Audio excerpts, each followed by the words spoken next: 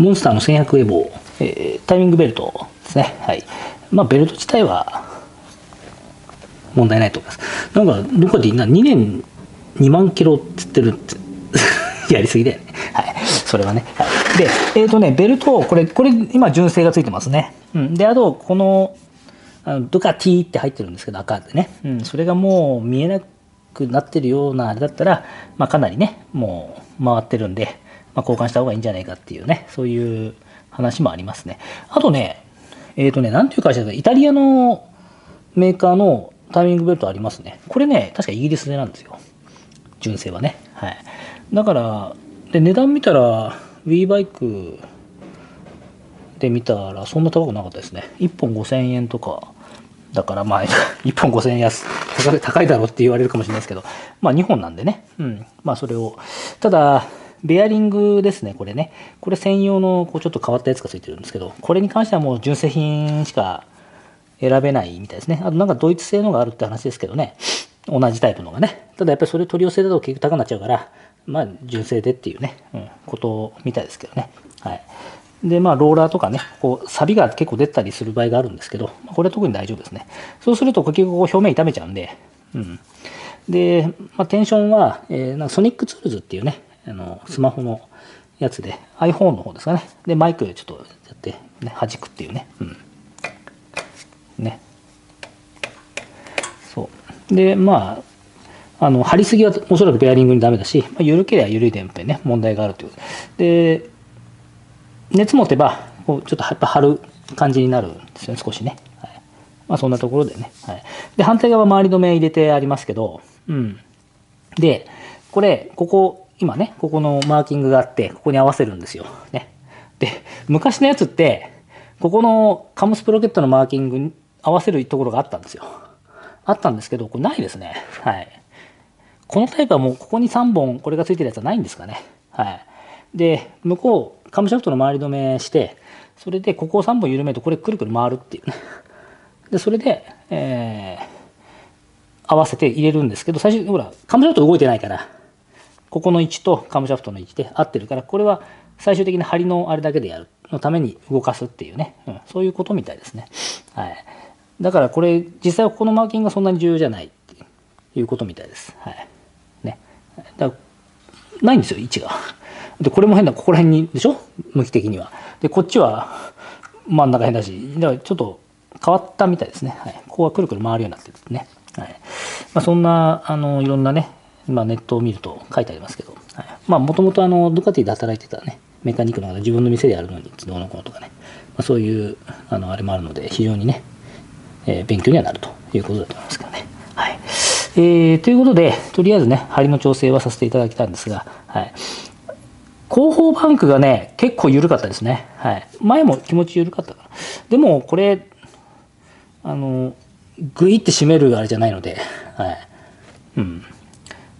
こう、昔はあのバネばかりでね、5キロから6キロとかだと思うんですけど、かけて、それで締めるっていうね。それが大体適正値っていう話でしたけどね。うん。まあどうなんですかね。はい。そう。あと、周波数云々つっても結局、難しいんですよね。実際問題はね。だからまあ、最終的にはまあこんな感じなんだろうなっていうね、うん、とこに落ち着くんですけど、ちょっとね、こう、こう、こうね、少し隙間ができるね、こうね押すとね。うん、ね。それぐらいっていうね。はい。で、とりあえず外すのに液パイが邪魔だったんで外してます。はい。あと上はタンクね、ずらしてね、えやるという作業ですね。はい。で、一応明日車検行く予定なので、もう全部戻さないといけないよね。はい。戻さないと、明日車検行けなくなっちゃいますから。はい。でね。うん、で、まあ、ベアリングの交換、ベアリングはやっぱり結構するんで、確か7、8000するんですよ、1個ね。で、テンショナーの方はもう少ししたかな。だから4つ変えると、ね、そこそこしますから。はい。まあ、ただまあ、そんなしょっちゅう変えるようなものじゃないですけどね。うん。まあ、中古車っていうのはね、なかなか難しいですけど、はい。ただそういうのもみんな変えてたら、値段がどんどん上がっちゃうんで、ね、うん。走行距離とか、あと年数とか、まあ、いろいろ、あれしますけど、ベルト自体は、ベルトよりもやっぱりどっちかというと、このベアリングの方が重要なんじゃないですか。ベルトが切れてるなんて話は聞いたことないので、うん。はい、前に5万キロぐらいのね、あの696でしたっけ？えっ、ー、とね、こっち側のベアリングがもう砕けちゃってて、バラバラになってで、弾が中に、ボールベアリングだからね、ボールが中にこう回っちゃって、で結局これ噛み込んじゃうんですよね。噛み込んじゃってて、ここら辺がもうブチブチブチブチブチブチって、ひび割れしちゃって。それでも、で、ベアリン、こっちベアリングもガタガタで、そんな状態でもエンジン普通にかかって走ってたわけだから、まあ、かなりね、あの、そういう意味で簡単に切れたり、簡単に、あの、っていうのはないみたいですね。はい。まあ、そりゃそうですよね。うん。そんな簡単にね、あの、切れちゃったりしたら困っちゃいますから、はい。エンジン壊れちゃうんでね。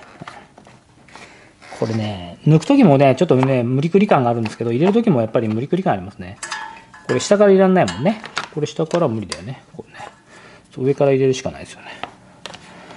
うん、下から、下から入ればいいんだけどな。下、あれ？あ、これ前だ。失礼。こっちですね。入るわけないよね。厚みがあるんだもんね。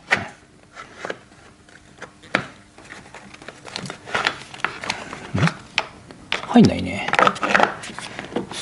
構ね、キチキチなんですよ。うん。で、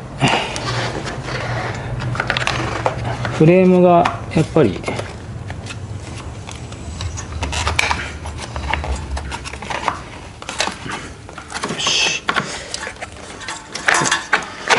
で、とかくね、あの、ドカティはどのこの、やっぱりあれだからタイミングどうのこのとか、ベルトがどうだとか、変えないとうんたらかんたらっていうね、まあ、あの、そういうふうに気にする方もいらっしゃると思うんですけど、そんなにね、あの、っていうと、いや、それは、あれだ、どうなのこのっていうふうに、ね、なるかもしれませんが、そんなに、あれじゃないと思いますけどね。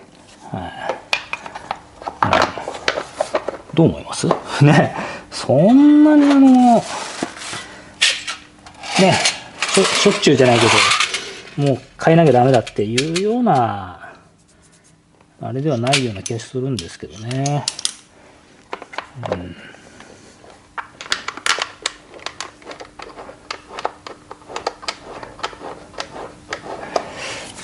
ん。あといろいろ特殊工具が必要になってきたりとか、うん、あれ外したりこれ外したり。ね、うん、そういうのがあったりとかするから。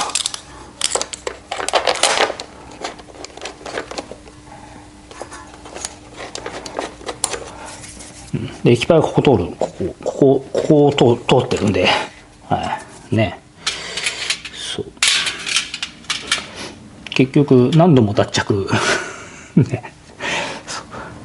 リアホイールやってよし戻そうなんですああダメだ。また外さなきゃなんです、はい、そんな感じです、はい、えっ、ー、とえー、5ミリか。5ミリのないね。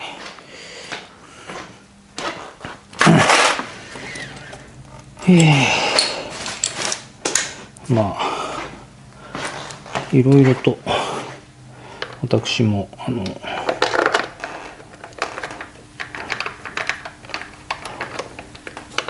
まあベルトだけ欲しかったんだあ。あ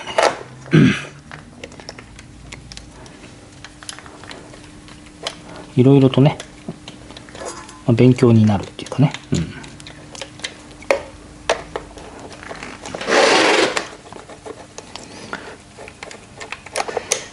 まあ、エンジンばらしたりはしてないんであれですけどね。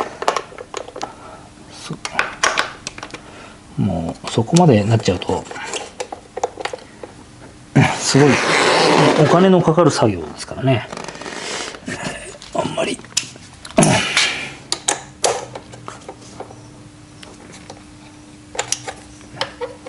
でこれは締めすぎはダメなんで。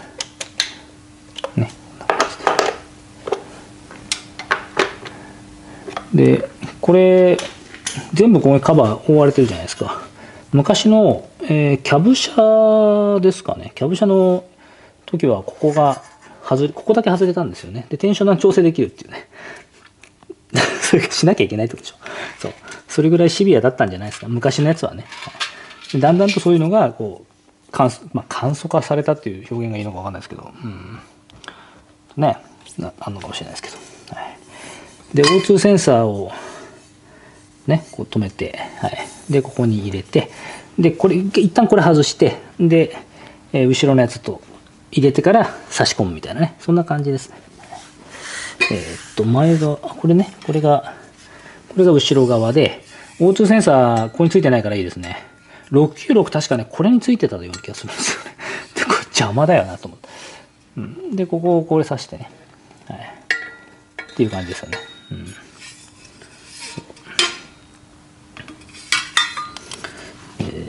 さて、そんなところで問題はないですか、うん、ね。問題だらけだ。もうこの作りが問題だっていうね、感じもしますけどね。これ、動いちゃうじゃん。でも緩んではいないよね。だから。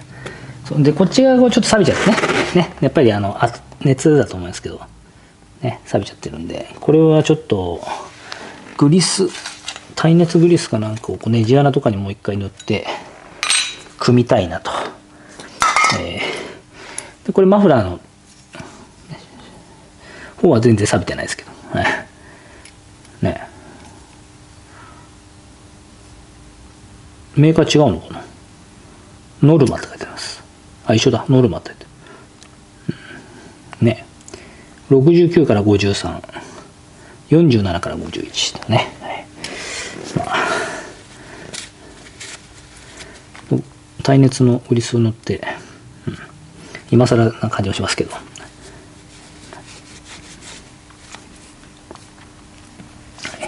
ということで、えー、ブレーキやったんですよね。あのフルードはちょっとまだ変えてないんで、フルード変えますね。で、あとは、エアクリーナーは掃除しました。えー、あと、プラグ、今抜いてありますけど、クランキングする都合上ね、えー、新しいプラグをつけて、ね、やりますね。はい。そんなところですか？そんなところですね。はい。で、バッテリーは新しいのが今ね、もうあの、そう、はあのうちで販売する前にちょっとつけてますから。でね、電池かか、エンジンかけられない。かエンジンかかってはいましたけど、ちょしばらく置いとくと、やっぱり、うん、バッテリーダメな、かからなくなっちゃうんで、はい。で、新しいのをつけたんですけどね。よし、そしたら、ね、うん、そうしましょう。はい、前ね。